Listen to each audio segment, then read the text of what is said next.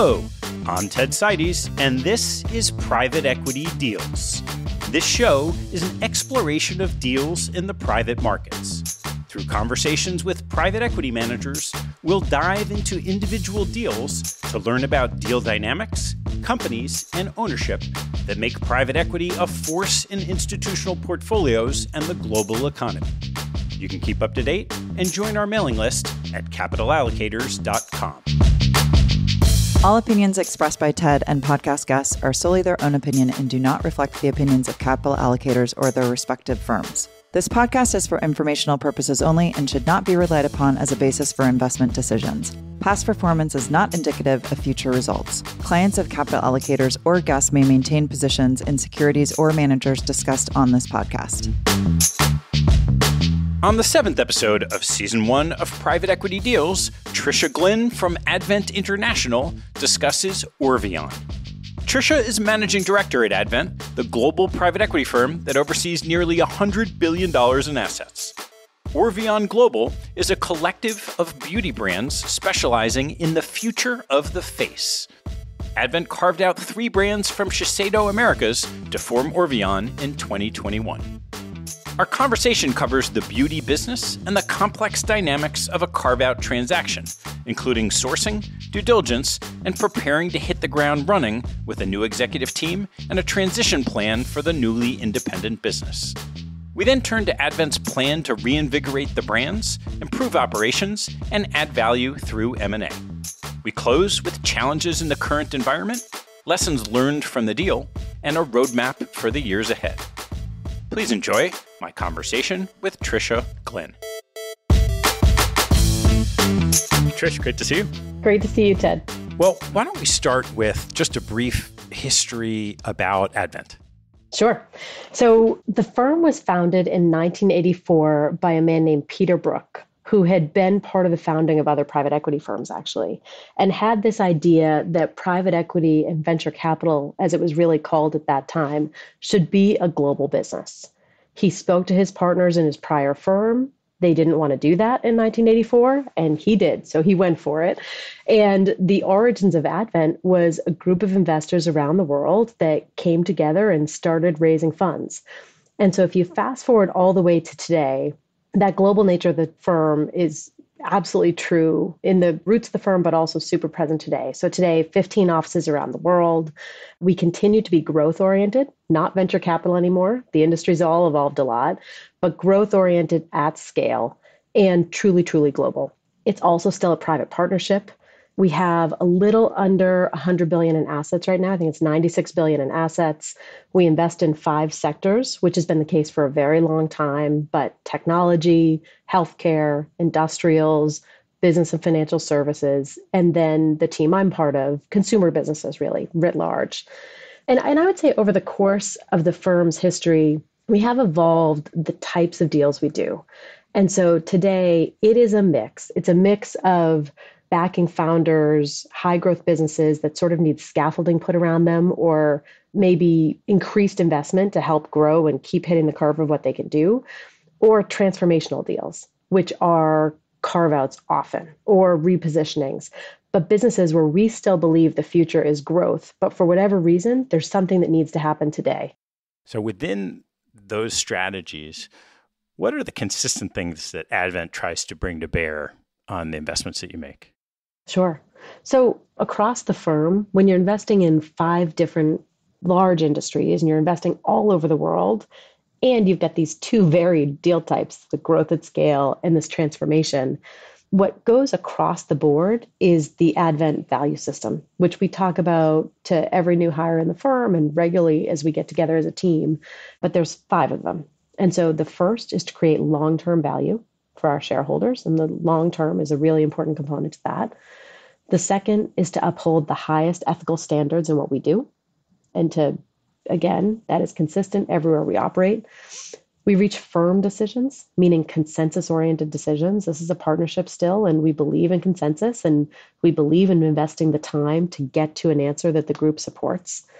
The fourth value is that we support our executive teams, we support the management teams of the businesses we're in.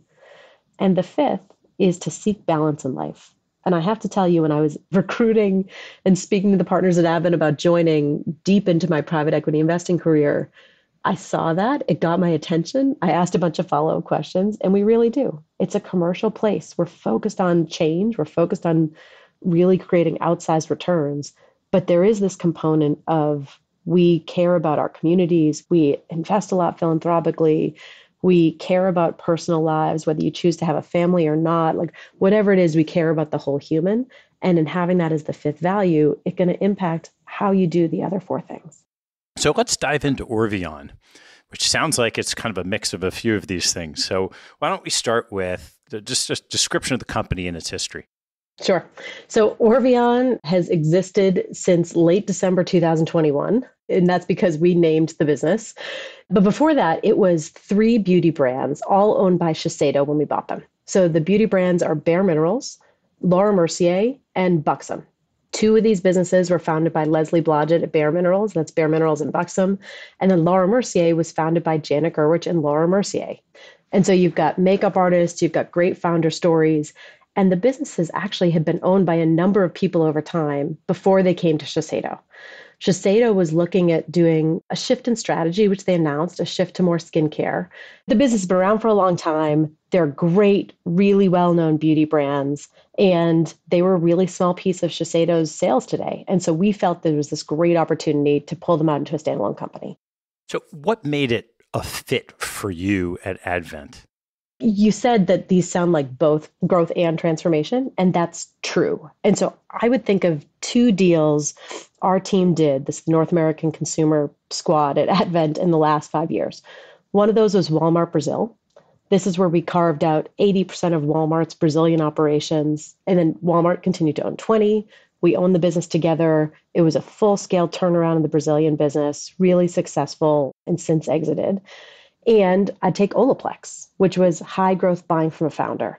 But if you think of those as the two predecessor deals to Orveon, you've got both the hardcore transition turnaround operating shops.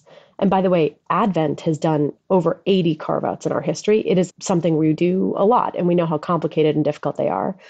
And then you take this deep dive into the beauty industry that we had with Olaplex, mash them together. That's sort of the idea of Orveon. Look, we were buying this coming out of the heart of the pandemic. It is both that one, people are going to wear makeup. It's coming back. Just because we wore masks for a long time doesn't mean this is over. It's a belief in brands. Like we really care about brands in the beauty industry. And it's a belief that, you know, the whole point of a carve out is to bring new focus to this business. And so there's a bunch of things that focus brings to this business. One, private equity financial incentives for an executive team in beauty at this scale doesn't exist everywhere.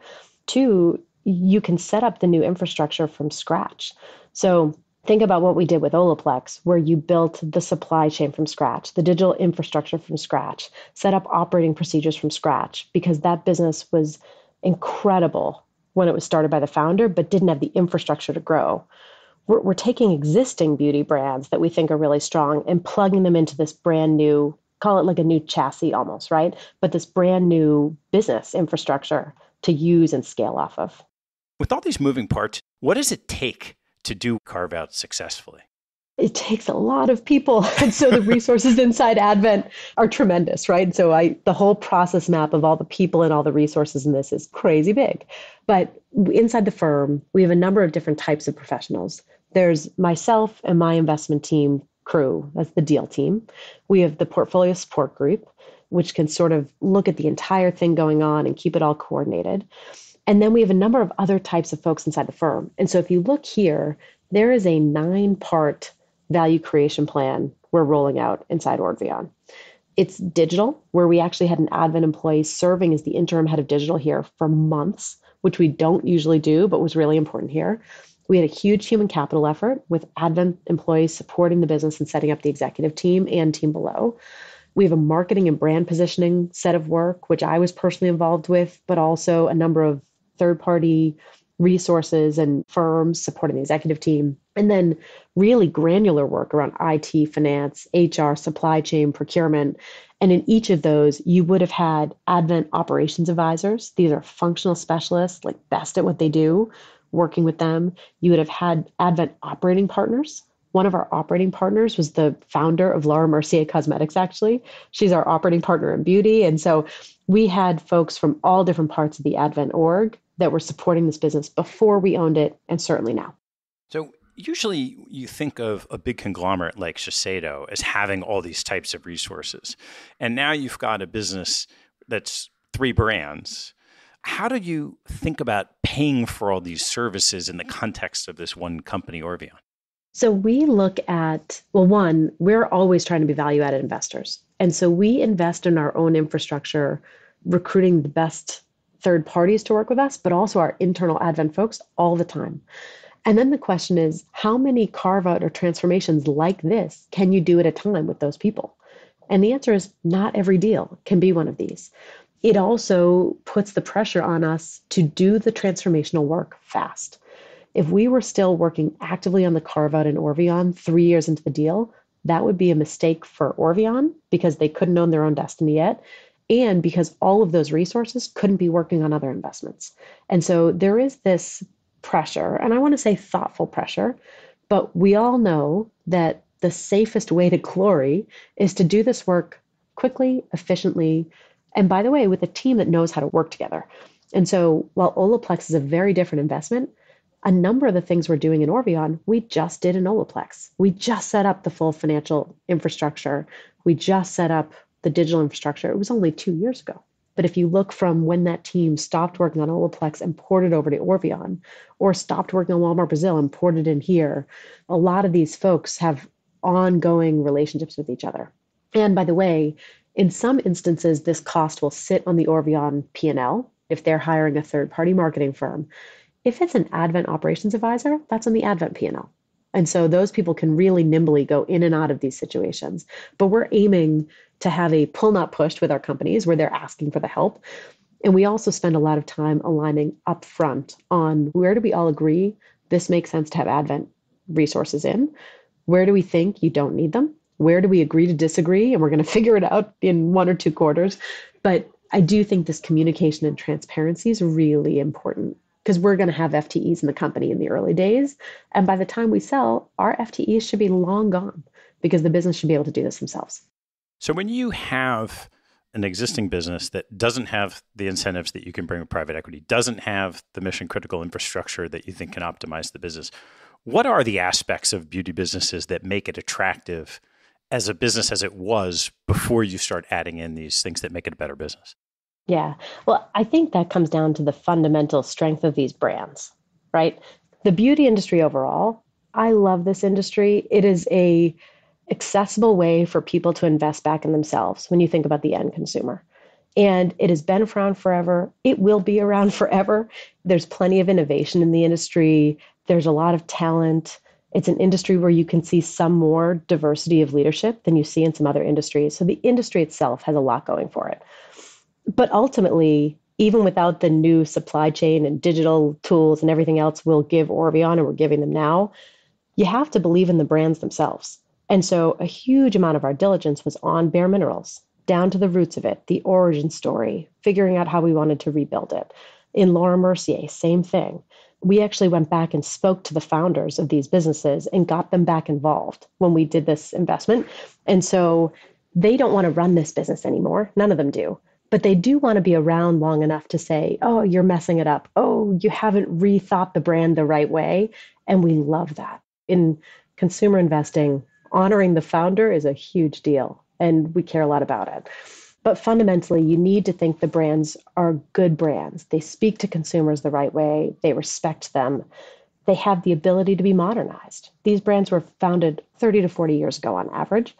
Can they step forward and see a modern consumer that cares about different things around inclusion, different things around climate change and sustainability and biodiversity and sustainable packaging? The Orveon executive team is a modern executive team. They're spectacular. They're going to push these brands forward.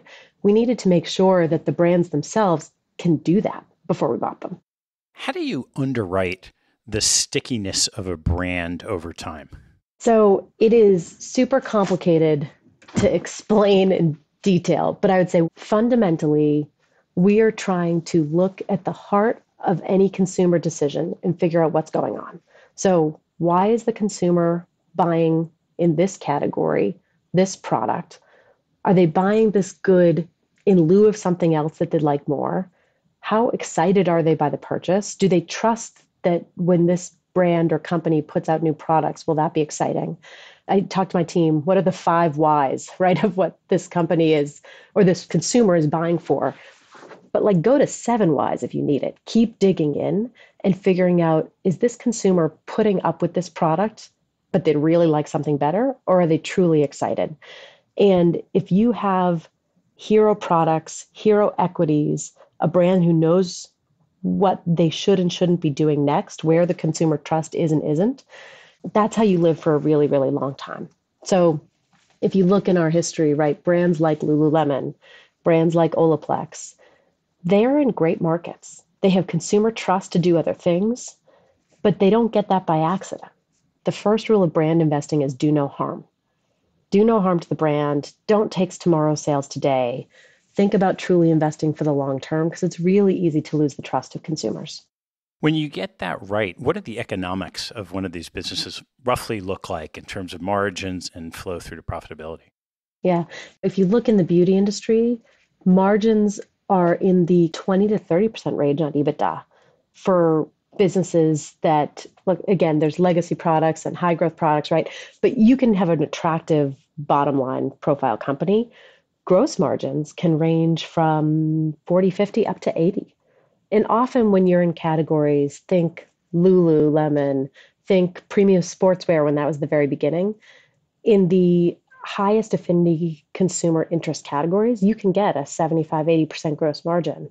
The customer is willing to do that, even without IP in some cases that we have in some of our businesses. But said differently, people will pay for brands that they agree with, that they feel good about wearing or using. And that allows those brands to keep investing in innovation, talent, et cetera. So when you were looking at this acquisition, what were you concerned about? A ton. so it, one, we did actually start talking about it in the middle of the pandemic when we were all masked up every day, right? Not that it's over by any stretch in the harm it's still bringing around the world, but we were looking when makeup sales were nil. And so that was part of it. When is this all going to turn around? We had to think about that. We had a view that it would at some point, but the question mark is will we have control of this business? Will we be in the heart of the messy carve out, or will we have the ability to participate in the upside when we're coming back out? A second real risk in any carve out is the carve out itself. So these are not simple things where you pick a number and you all agree and high five and move on. They are complicated, massive documents that talk about transition service agreements, IP assignments. They get into the details of people. And so any carve out deal is actually much more about the trust in the partnership because you're going to live together for quite a while. So the trust on both sides, buyer and seller, that you'll work through issues as they come up thoughtfully, that you'll respect the other party, that you will do right by all the important things that make up these businesses and price. But it's part of the whole. And it's one of the reasons, if you look at Advent's 80 carve outs, we do carve outs transactions with people where we really trust the other counterparty. Shiseido is a wonderful organization. Walmart's a wonderful organization. And if you look across the deals my partners have done in other sectors, you'll see the same. So let's dive into the carve out itself. So, where did this idea to create Orveon come from? The beauty industry is rarely an industry where you have a lot of independent brands that live forever as independent brands. There are benefits to scale to having multiple brands under one roof. We felt like the biggest players in the industry Estee Lauder, L'Oreal, Shiseido, they've grown by M&A for 20 something years at scale and before then. And so the first idea was just there have to be assets out there that are no longer getting the focus that they once thought they'd get and where the executives running them might want to come own their own destiny. So that was the basic premise. The second one was around okay, if you're going to do this and take this risk, with which brands? And so we did a lot of brand work to see where do we think there was opportunity, real opportunity to invest more time and money and improve the situation, but where you had a great stable foundation. That led to conversations with more than one big beauty player. And we ended up with this deal parameter that we were really excited about. The second huge piece of it is who's going to run it? How are you going to get excited? And this was one where if I had anything rumbling around in my stomach when we did this investment, it was okay, now what, right? Because the beauty industry, most people work for big conglomerates, and that comes with different upside, but different risk also. And so we had to go recruit the executive team.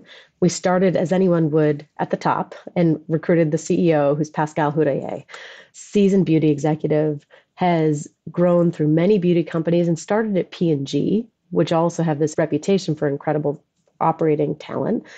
And so we were really thrilled that this was an executive who had done acquisitions before, had run brands, had followership in people. And I'll tell you, the next six months in the trenches, hiring that senior executive team with Pascal was a blast. And they're an incredibly talented team. I feel really, really lucky. But if you think across the board, our CFO, chief digital officer, chief supply chain officers, the heads of these brands, the head of our sales organizations, we've got a 15 person senior executive team that has been built from scratch in a very short period of time over the course of this year. So we took ownership December 2021 last year. The last new person hit the group in August, and we celebrated finally having the full executive team there. but it's this is like in the trenches private equity. It's a blast, but they're a great team. I'm curious how you sequence there's an idea and there's this dynamic of trying to see if you can carve this out from Shiseido. You've got your due diligence on the brands, and then you've got the need for an executive team.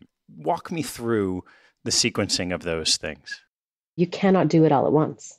So we identified the idea in 2020. We were finally really in serious conversations with Shiseido. We had spoken to them already, but we were in serious conversations beginning of 2021. By August of 2021, we had signed the business publicly. Pascal was with us. Pascal was working with us we were closing December of 2021.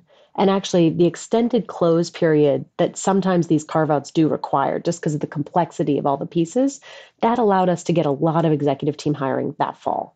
But for Advent, with our investment committee, my partners, there was this period of time where we all had to hold hands and say, we're buying a business we don't have the team yet for, but we believe we'll be able to hire them because the industry has a lot of talent in it. The industry has had growth for a long time.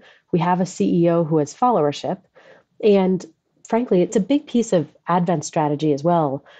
We tend to look to begin to inflect the line of these businesses between signing and closing, even before closing. And that's in the DNA of the place. And so, this idea that we're going to keep putting our shoulder into it, we're going to keep working through this is really well known and understood. And so, we knew that was part of the risk the team was taking once the executive team is set up, you're still layering your strategy.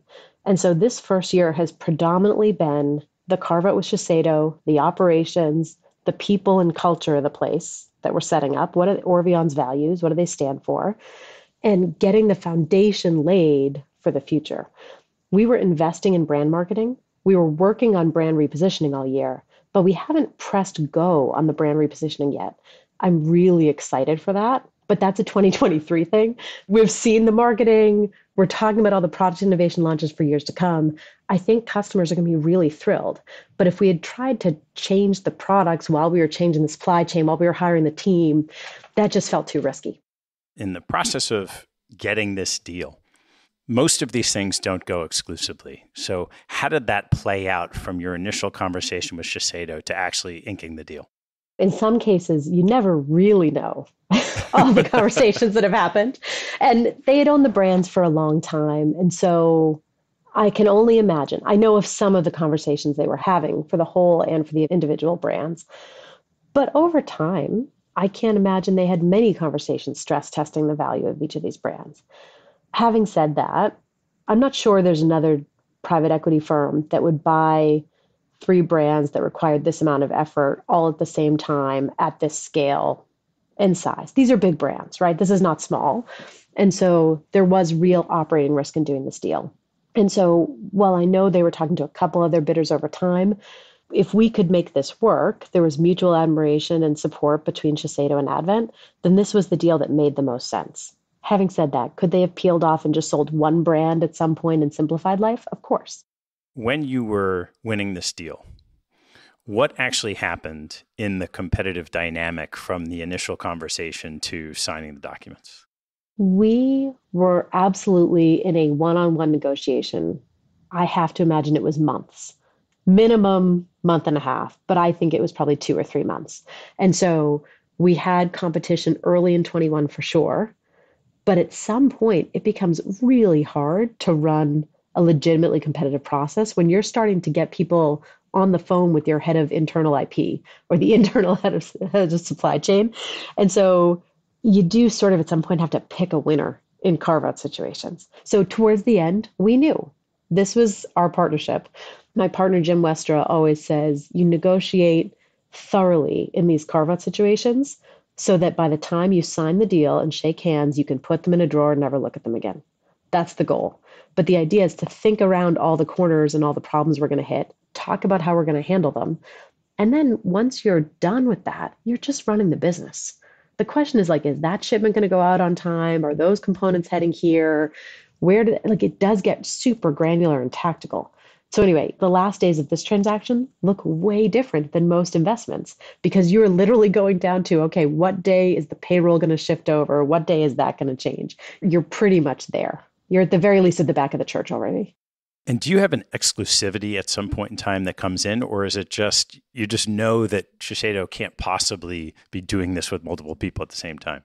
You definitely know they can't be doing it with multiple people. And I'm going to look like a terrible deal maker here. And like, I can't remember at the very end if we have exclusivity or not. I just can't. But you always, the no deal, that's the better answer. the no deal is always a real thing.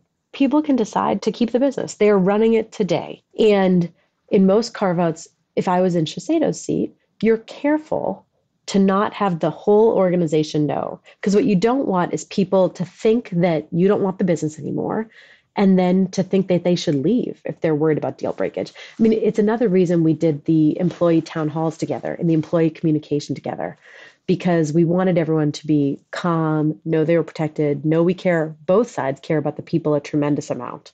What was the scale of the deal? What was the purchase price? The disclosed purchase price was $700 million. I know I winked at this and I did that on purpose, knowing this question would be coming later. In any carve out, the devil's in the details, right? And so we put forward as much detail as we could. Shiseido is a public company, so I have to be careful. But there were terms around price, around funding, around timing of certain transitions, and then really in depth work together on how we are going to run these businesses and brands. Let's dive into that a little bit. You mentioned services agreement, transition agreement, IP. How did you work through each of the core aspects of this deal? Let's start with IP. If you are going to buy a beauty business, you need to own the brand itself and the trademarks and like globally everywhere. That's easy. You need to own the actual products. That's pretty easy too. It's pretty straightforward. No one really disagrees about that. The question mark is for innovation that's in the pipeline.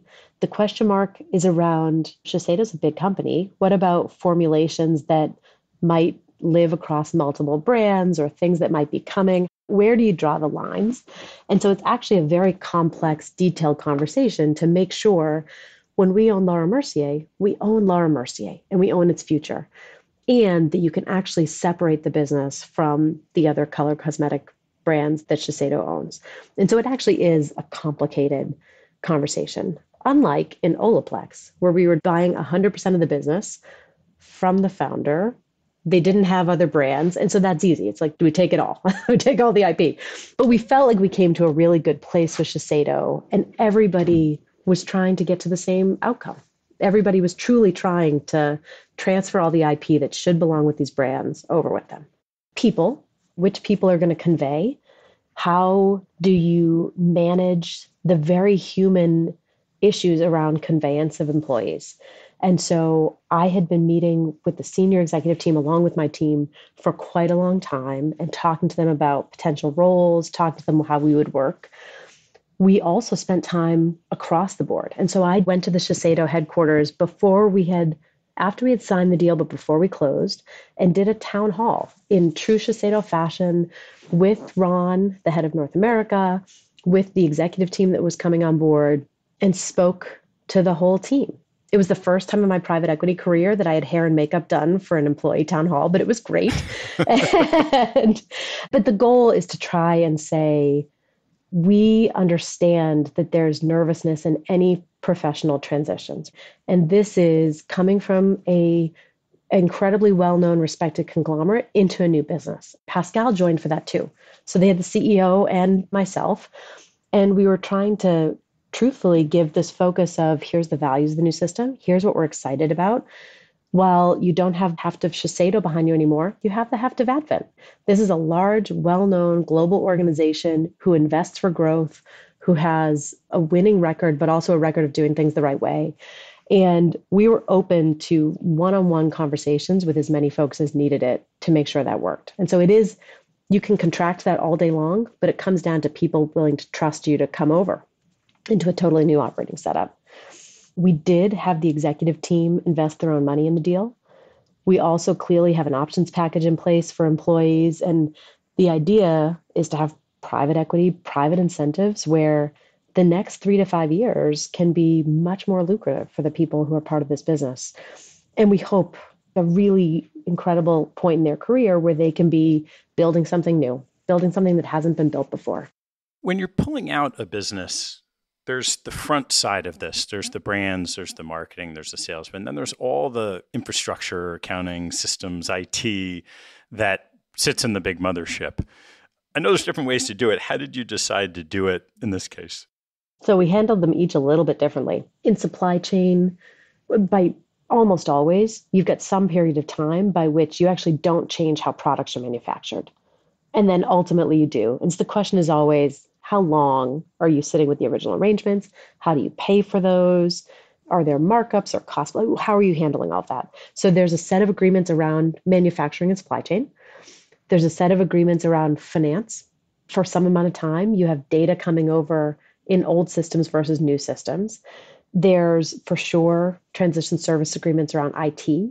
That was one of the biggest pieces of the Walmart Brazil transaction with Walmart was the IT transition service agreement because all the data for Walmart Brazil was in Bentonville for that transaction. Here, the most complicated thing was really the manufacturing of the products. In a beauty business, the number of SKUs, the complexity, changing up beauty lines, that was the hardest part. And it's detailed and it's the transition service agreement that went out the longest as well. So, once you own this business, you've done all this work in a very short period of time to bring in this full management team. There were executives running this within Shiseido and now you have a different management team running it alongside the other employees that presumably were there all along. How do you bring that together? You know, it's not easy. And the people who are running this at Shiseido, some are with us, some are in new phenomenal gigs, some are elsewhere in Shiseido, right? It's a moment of transition for a lot of people. Most carve outs happen because the business you're carving out is less than 1% of sales for the person selling it it doesn't make sense for them to focus differentially. It doesn't mean they don't want those brands to be successful. I truly believe they do. And likewise, we respected everything they do. They're beautiful creators of product, high quality product. It's a company with tremendous values. And so we, everybody was happy to work together. There are frictions still. There are decisions you might want to make differently. There's just the human nature of new executives in certain places. But big picture, everybody wants this to succeed. And so that goes a long way. And this comes back to only pick the carve out partners that you really want to go with when things go wrong, because they will. But day to day, at this point, the new executive team really has a ton of running room. A lot of the hard investments have been made. We are not completely done with transition, but we're further along than we thought we would be. And we are now really pretty close to moving mentally to the part of this deal, which is about reinvigorating these brands, really ramping the investment behind them, changing the distribution in certain cases, mostly overseas. The domestic distribution is pretty well set.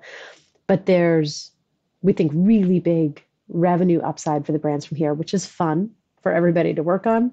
And even M&A, which was part of the original thesis, which we haven't talked about yet, but that was always part of the thesis.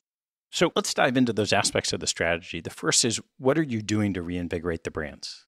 So part of it is just spend, real focus on the spend. But a big piece of it is also both visual merchandising, the look of the creative that's going out, and I would say refocusing the brand identities. And so Pascal and his executive team and the brand leaders did deep work around truly understanding what the consumer believes the brands stand for today and where that might need to shift in 2022 versus when the brands were originally created. Some of it you'll see show up in the artistic presence. Some of it is in what type of innovation would you do or not do in this brand today.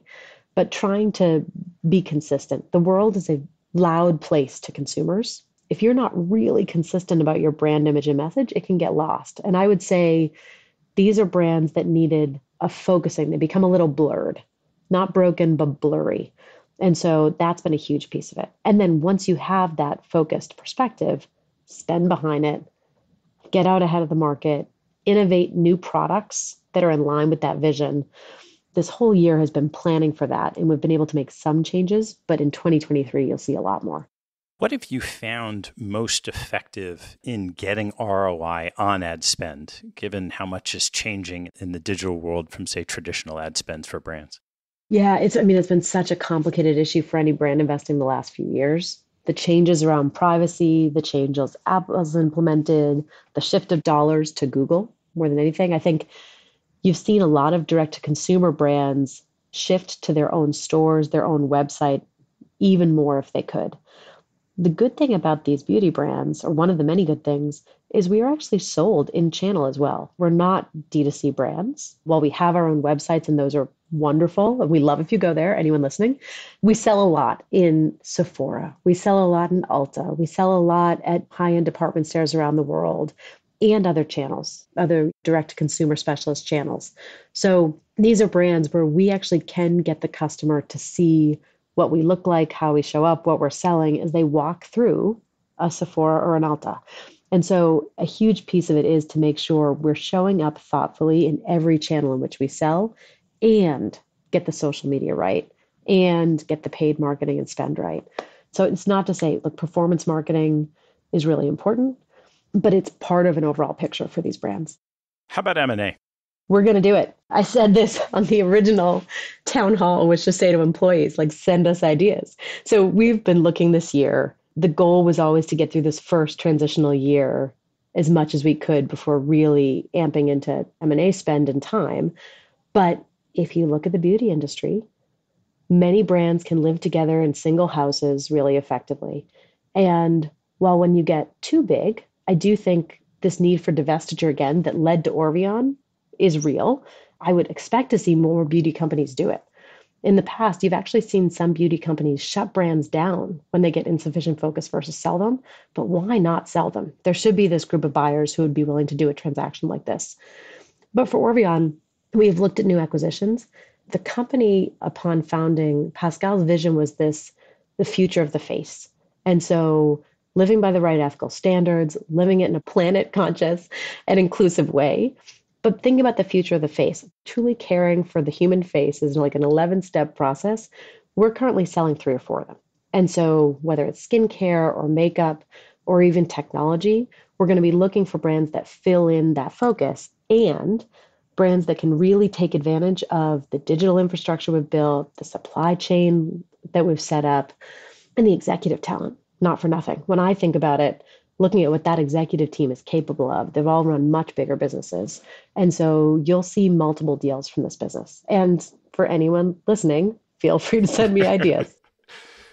I'm curious how you thought about financing this transaction because you have three profitable businesses that you're looking at it as growth, you're thinking about M&A. What kind of cap structure did you put on it originally? So it's a very simple capital structure. It is equity and a seller note from Shiseido. And that's it. And so we actually did not take outside debt really. We do have the ability to do some over time. The beauty businesses will often asset back some of their revolver facilities. And certainly there's a history, the industry can take leverage. This is fairly stable through downturns in the world this is a high margin industry. And so we've got optionality, but the risks of a turnaround are the risks of a turnaround. They're real. And so we wanted to be unlevered effectively in the early years and then can be thoughtful about a capital structure. But I should have said this up front. If you look at Advent's returns since the beginning of the fund's creation, going back a very long way, our returns have been predominantly driven by EBITDA growth or multiple expansion in our control like shifting a business into a different type of industry or a different quality of business or scaling into a different level versus just market multiple expansion. And so we really are trying to change businesses for the better. And so the goal is to see that here too. What happens to the day to day operations of a business like this in this year of time where there's so much transition happening on the business itself? And by the way, it's 2022. And so you've got supply chain challenges everywhere. You've got inflation that everyone's dealing with. You're still thinking about the future labor model work from home, not work from home. So let's take those each piece by piece. The beauty industry has had supply chain challenges. We have certainly had them too. It's not great to have supply chain challenges in your first year as a new business, but we would have been hustling after them anyway. And the fact that the whole world is dealing with it at the same time, I would hope that that means the infrastructure of an advent can help change some of those problems. This was not the only investment where there was for supply chain people, but we have phenomenal people inside Advent that can get into those situations and really try to fix things. And so supply chain's complicated and the business has done an incredible job trying to work through it. What are the types of things that you can bring to the table to try to work through the supply chain that the businesses couldn't do on their own? Yeah, part of it is power with certain people in the chain to try to just get people to listen to the problems. Everyone is busy, and when you're supplier who has an issue supporting everyone in your client stack, knowing that this business is part of a big corporation, it helps with that.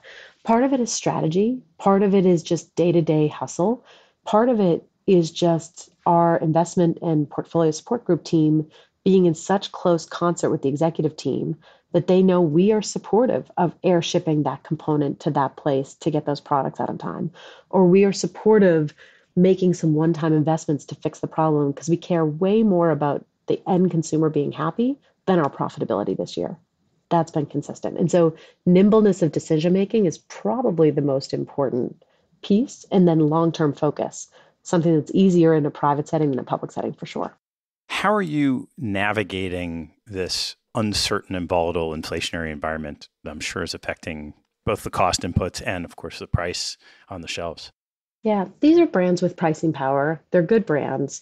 The beauty industry holds up well in tough times. I would just say the whole industry has had to take some price this year. It would be better for consumers everywhere if that wasn't true in the future. The actual impact of inflation on a consumer segment is highly tied to the income of that consumer segment by socioeconomics. These are premium brands. And so, for the most part, consumers buying these brands can afford them and are less impacted by the day to day inflation you see in the world. And so you're just in a more protected segment. But big picture, it's of course an issue for consumers globally that we all need to be focusing on. But that has not been the primary issue with these businesses. I was going to come back to the third issue I mentioned, which is this work from home environment. When you're in a brand new business that is setting up culture for the first time, we had a hard set of decisions to make about whether we were going to try and really get people back to the office or whether we were going to live by the work from home regime that more of the beauty industry is still following. And we really went employee friendly for this. The executive team is pretty much together all the time. That is how they're choosing to work.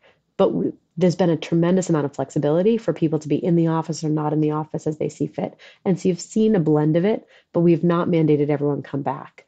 And so the team has invested heavily in town halls and virtual get togethers. The executive team's been flying around the world and seeing the folks we have in different places. So we're building a culture while respecting individual autonomy, and that's hard.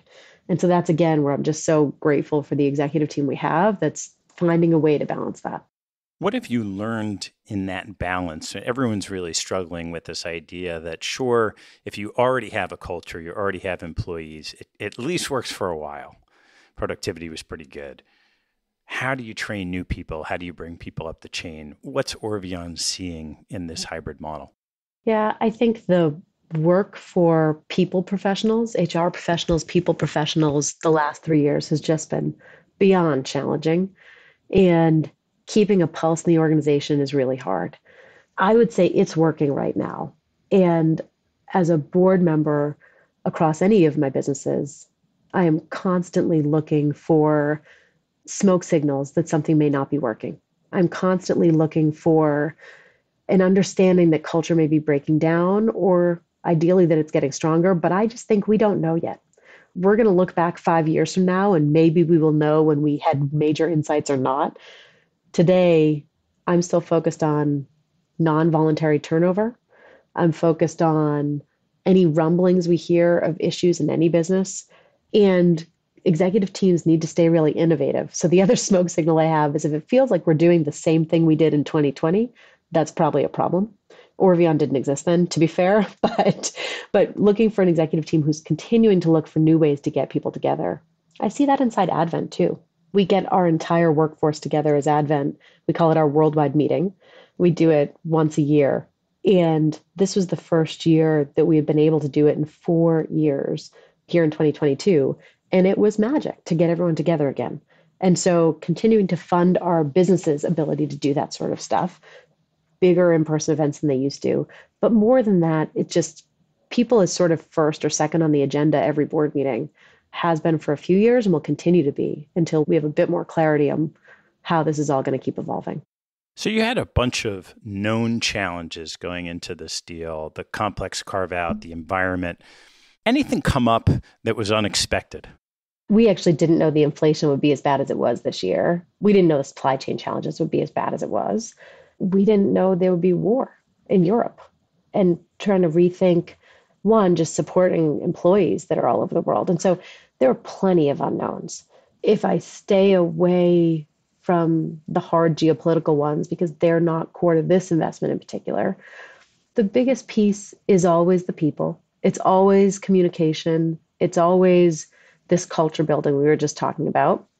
And I would say to be coming out of the pandemic in how people change their behavior right into this period of time where it feels like we may have a consumer downturn again or we're in one or it's coming soon, right? That's not a great setup for anyone. And it just goes back to I'm really glad we buy brands that we really like. We Advent, we're not in the business of buying things on their last legs and cutting costs. That's not what we do. We're buying brands that we think we can grow for 10, 15, 20 years, maybe more, right? And so that's where maybe you end up owning a business longer than you originally intended, but it's all going to be okay. And so with Orveon, we're one year in, we're ahead of schedule on the carve out work, which was the foundational work we had to do. We're ahead of schedule on the executive team build out. And so we feel we're excited we're thrilled. I'm willing to talk to you 10 months in, talk about it in detail. So we feel really good. But man, yeah, there's a ton of challenges that come every day. So it's premature to talk about an exit strategy down the road. Why don't you lay out a map of what do the next couple of years look like? Sure. So we are going to finish the full transition carve out so that the business is really standing on its own two feet.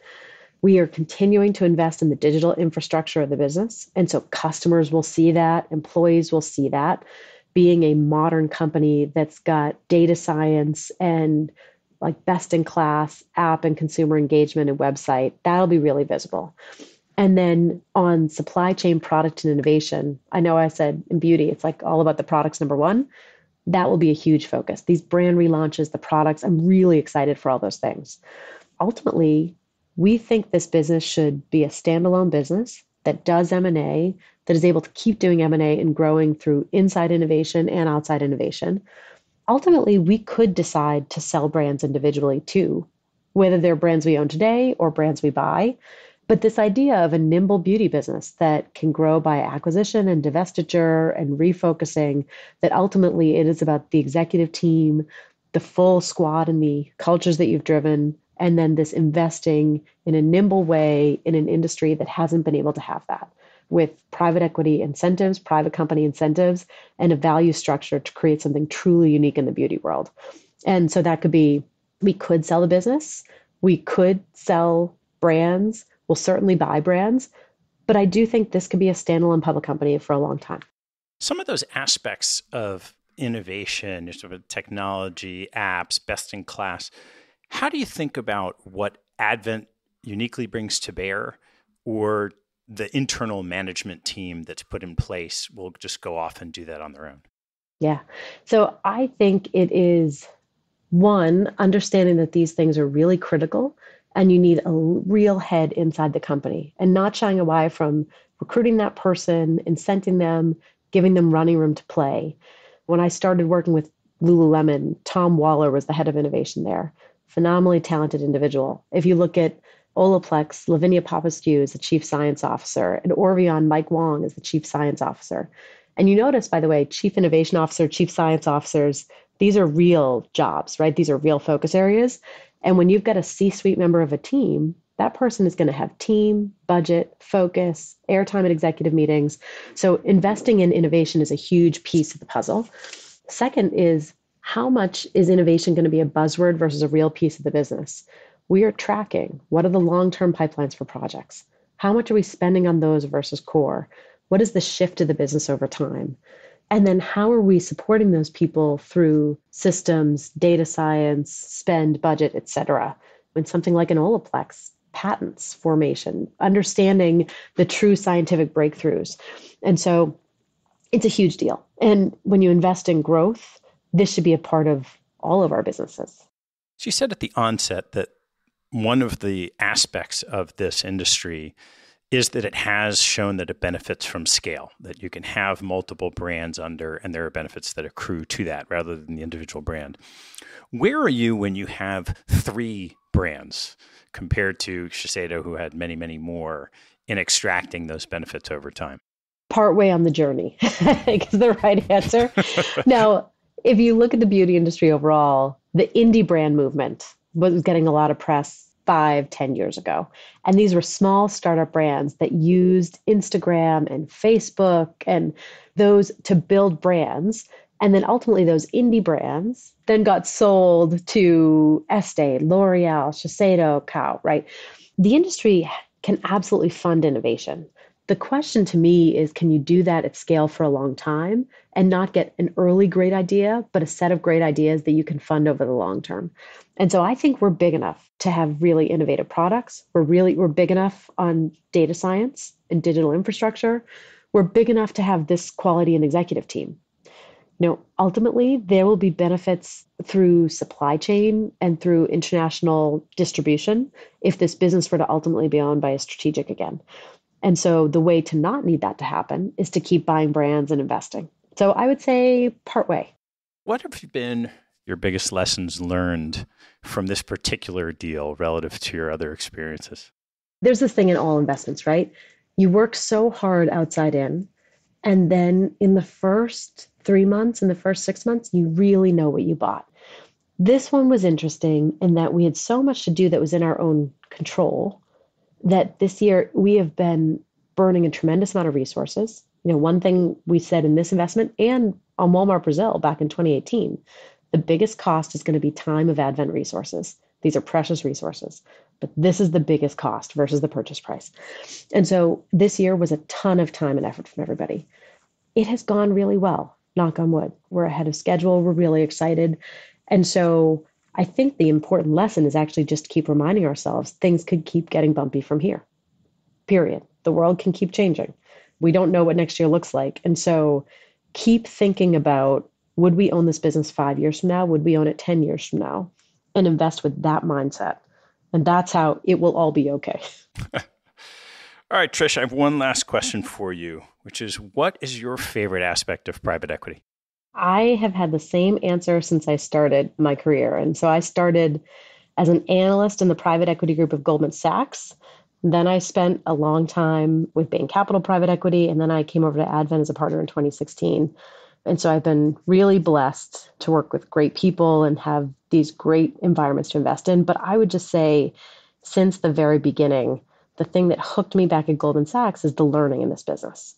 And so getting to dive into new industries, new businesses, as you progress in your career, learning completely new skills that you didn't have five years earlier, right? It is very different to be analyzing and building a model in your early 20s to be chairing the board of a company and having the accountability for those people to be partnering with executives through a global pandemic when you're trying to figure out how to support everyone the right way and make the right decisions. And so the leadership challenges at this point are trying to build teams to have long careers and do the right thing, look where the world's going. Those are the pieces that are the learning that I love the most today. But it is just the variability, the variety. It's a tremendous opportunity for that. Well, Trish, thanks so much for sharing this interesting and early success carve out story and obviously wishing you the best of luck as it continues the next couple of years. Thank you very much. We will always take all the luck we can get. Thanks for listening to the show. If you like what you heard, hop on our website at capitalallocators.com where you can access past shows, join our mailing list, and sign up for premium content. Have a good one, and see you next time.